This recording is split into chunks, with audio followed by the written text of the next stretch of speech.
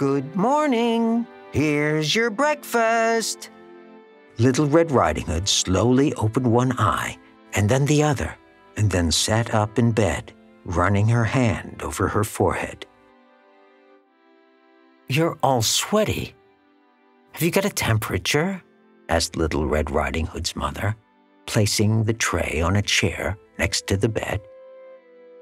Uh, no, but I, I had a horrible dream. I, I met a talking wolf in the woods. He went to Granny's house and ate her up while I was picking raspberries. And when I got to the cottage, the wolf was lying in bed pretending to be Granny, and then he ate me up. But then a hunter came and made the wolf spit out both Granny and me, and, and we flew out like rockets.